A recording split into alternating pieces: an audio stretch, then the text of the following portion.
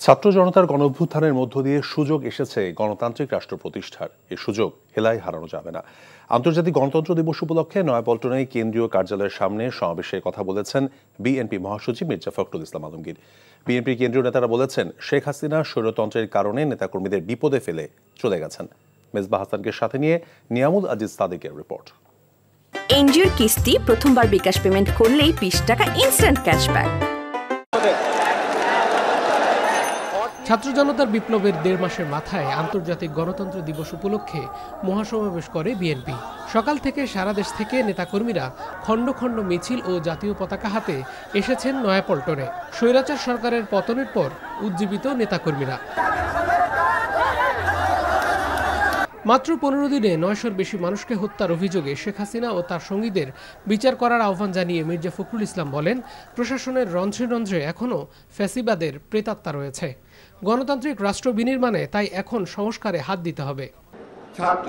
আত্মত্যাগের মধ্যে দিয়ে আমরা একটা সুযোগ পেয়েছি গণতান্ত্রিক রাষ্ট্র প্রতিষ্ঠা করবার। সেই কথাগুলো আমাদের মনে রাখতে হবে। আমরা সেই সুযোগ দিনে হারাই না হারাই। আজকে এমন একটা অবস্থা তৈরি করতে হবে যেন এখানে সত্যিকার অর্থেই গণতন্ত্রের আর প্রতিষ্ঠা করতে পারে। সেই জন্যে এই গণতন্ত্রকে যদি কেউ ধ্বংস করতে চায়, আবার বিপদে নিতে চায় লুট করে নিতে সেখানে আপনারা অবশ্যই রুখে দেওয়া হবে মহাসমাবেশে বিএনপির কেন্দ্রীয় নেতারা বলেন শত কষ্ট ও অত্যাচার সহ্য করে বিএনপি চেয়ারপারসন বেগম খালেদা জিয়া দেশ না ছাড়লেও জনবিচ্ছিন্ন ও স্বৈরাচারী শেখ হাসিনা পালিয়েছেন। যে অন্যায় অত্যাচার জুলুম বিগত ষোলো বছর আওয়ামী লীগ করে গিয়েছে তার প্রতিটি অন্যায়ের বিচার করতে হবে।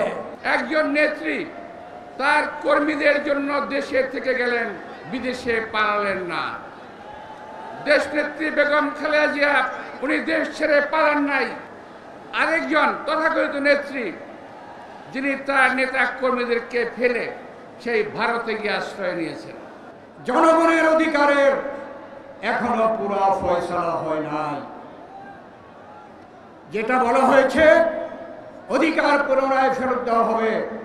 তার মধ্যে প্রধান হচ্ছে জনগণের ভোটের অধিকার। সেই ভোটের অধিকার আমরা ফেরত পেতে চাই। বিএনপির এই সমাবেশ কাকরাইল মোড় থেকে শুরু করে আরামবাগ পর্যন্ত লোকে লোকারণ্য হয়। তৃণমূলের নেতারা মনে করেন গণতন্ত্রের সুবাতাস বইতে শুরু করলেও এর সুফল পেতে দীর্ঘ পথ পাড়ি দিতে হবে।